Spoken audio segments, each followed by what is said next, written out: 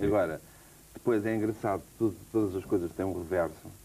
E foram E que essas tipo de piadas é que tu dizias ao país nessa altura? Estávamos em 1975, 76, eh, Eu saídos sempre- da Revolução. Eu sempre trabalhei em sistema bolo de bolacha, que é eh, multifrequência, muitas camadas, folha, massa folhada. Como o PSD. Eh, Exatamente. Como o PSD, como sabes, são 18 partidos numa massa folhada, numa massa quebrada numa só. E então havia para todos os gostos. Porque às vezes na província havia lá o, o Presidente da Câmara, ou não sei quanto, ou o juiz fulano de tal que estava a fazer férias. Também se ria porque as coisas tinham duas leituras.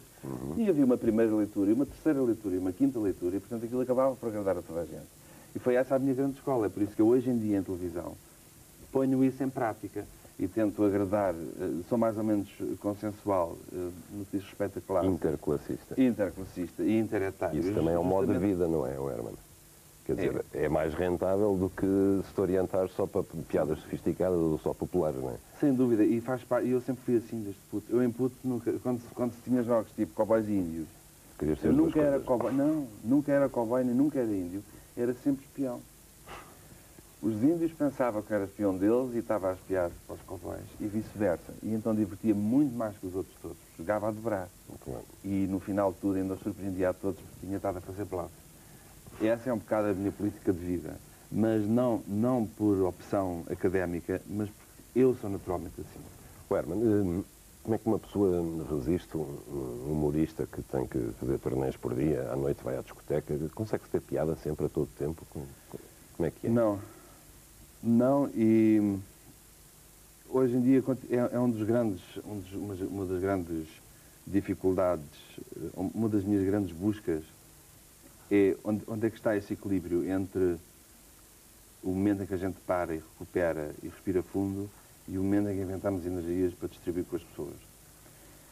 Porque também a partir do momento onde eu sentisse que estava só a fazer palhaçadas para faturar, preferia então mudar de negócio. Hoje em dia já tenho se calhar prestígio e dinheiro suficientes para fazer, montar um outro negócio, construir andares e vender, recuperar casas antigas.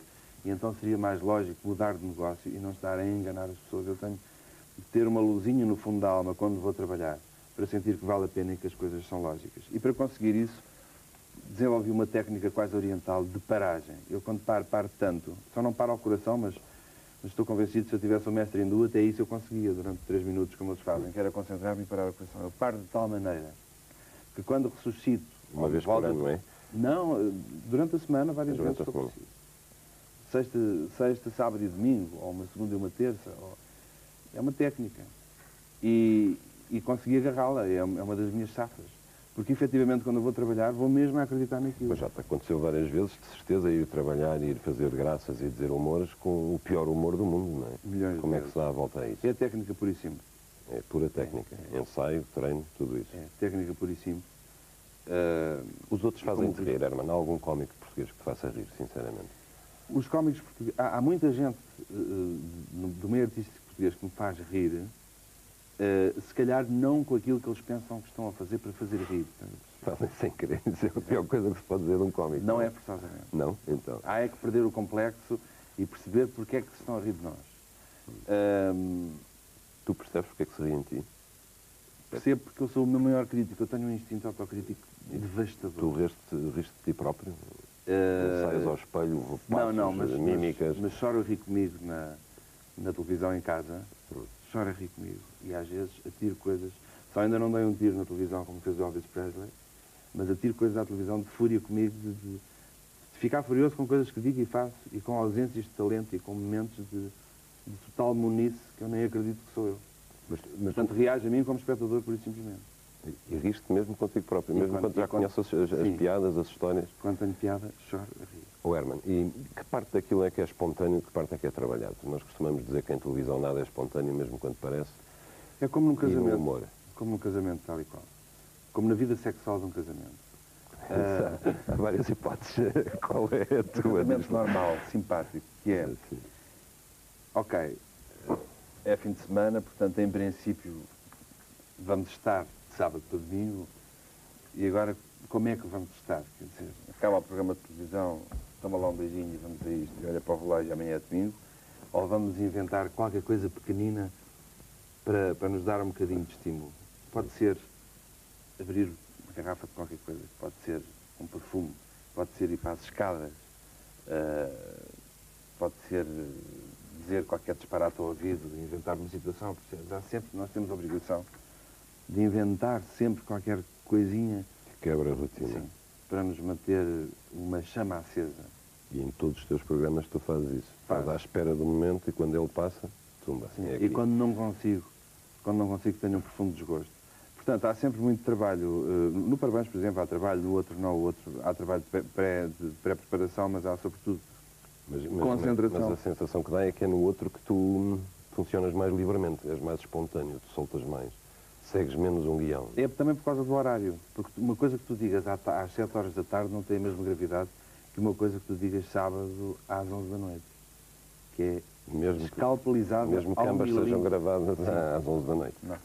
É escalpelizado ao milímetro. Mas tu segues isso a esse ponto? O teu sistema de autocensura é, assim, é. assim tão certo é. que tu entras e dizes isto é um programa que vai ser visto por reformados e criancinhas e tudo? É, é? E consegues controlar? Às vezes, às vezes falha-me, mas tenho muitas preocupações porque eu interessa-me que o programa dê mais bem-estar do, do que mal-estar. Se eu tenho uma piada sobre Fátima, vou dar bem-estar a 300 mil pessoas que vão como umas doidas, uma piada sobre a Nossa Senhora de Fátima, e vou dar cabo da disposição e da noite a 3 milhões. Então não vale a pena. Se for invertido, se for uma piada que faça rir 3 milhões e chateie 300 mil, já vale a pena outra vez. É desses equilíbrios que sempre, sempre o mesmo raciocínio, muito terra a terra, não é? De, Tem de ser. Dos limites, das não margens. há sobrevivência, porque o problema aqui é um problema de sobrevivência. Como eu não quero fazer outra coisa, hum. gostava de poder fazer mais anos de televisão. E para fazer mais anos de televisão, uh, tenho de ter uma, uma, uma, relação muito séria com aquilo que faço. Claro, e não há de chegar a um, a um, ponto em que, por esgotamento, se calhar, a tua sobrevivência depende de facto da faculdade de pisar o risco, de provocar, de ser inesperado, de ir para além dos limites que tu te fixaste e que as pessoas estão a esperar. Já passei por isso, é natural que volte a passar outra vez. Mas isso pode acontecer? Tu, tu não sentes pode, isso? perfeitamente. E como é, como é, que tu sabes... Qual, vamos lá ver uma coisa. Tu... Uh, tinhas 20 anos no 25 de Abril, é. portanto cresceste com a geração que tinha 20 anos no 25 de Abril e que às vezes se calhar olha para ti com uma certa frustração, porque sendo tu um companheiro de geração e as pessoas habituando a ver em ti o reflexo de muitas coisas que as pessoas pensam, também eh, sentem que ficaste muitas vezes aquém dos limites. Há coisas que tu nunca pisaste, uhum. nem, nem poderosos, nem costumes, nem inibições. Uhum. Tu não sentes um bocado isso? Sinto, mas mas como é genuíno não me preocupa. Eh, eu só, me preocupo, só fico preocupado e destruído quando, quando a situação começa a ser uh, artificial. Hum. Porque artificial é se, se, o processo sensório for ou de autocensura ou de diálogo lógico, Sim. faz-me favor, não fales, não, não me toques nessa história agora da, da, desse tipo de deficiência porque não tem piada. Isso às vezes sou eu a falar comigo próprio. Sim, mas isso é uma coisa, oh Herman, mas vamos lá ver. Hum, é não, mais fácil. Deixa-me só acabar a raciocínio. Quando, quando as coisas são naturais, não há nenhum tipo de problema. Quando as coisas são artificiais e violentas, eu reajo igual, de maneira igualmente violenta, aliás. Uh, ainda há bem pouco tempo. Mas é natural que um humorista tenha, tenha limites à sua capacidade de gozação. É. Não é uma profissão que, por definição, requer absoluta liberdade. Não. Não? Não. Então. E quanto mais importância a gente tem, mais, mais responsabilizados somos e mais, mais uh, ramificações e telhados de vidro e problemas temos na cabeça. É uma coisa, é uma coisa maquiavélica. Eu acredito, mas está eh, bem. Também no jornalismo nós temos imensas pressões e se calhar a responsabilidade é tentar resistir-lhes, não é? Mas é que vocês têm outro tipo de responsabilidade.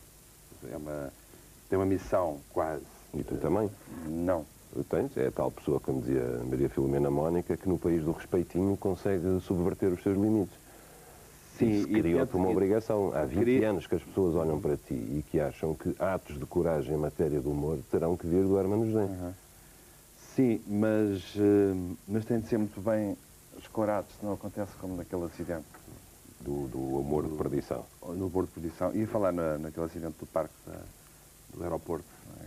Sim cai-nos um monte de terra em cima. Falemos, falemos desse, desse acidente do humor de perdição que eu acho que é uma coisa que te marcou muitíssimo. Sim, eu, eu, são, é idêntico ao outro acidente. O aeroporto é, é igualmente sufocante para um, para um criador uh, sentir-se tão apertado de tantos lados e tão sozinho. E tu achaste